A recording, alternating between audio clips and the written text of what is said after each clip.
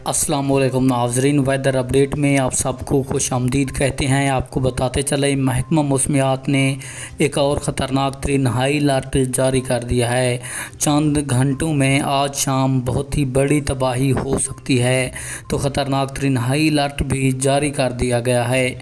मैं आपको मुकम्मल तफसील के साथ आगाह करता हूँ, लेकिन उससे पहले आपने वीडियो को लाइक और चैनल को सब्सक्राइब लाजमी करना है, ताकि आपको हमारी नई वीडियो का नोटिफिकेशन सबसे पहले और बसानी मिलता रहे।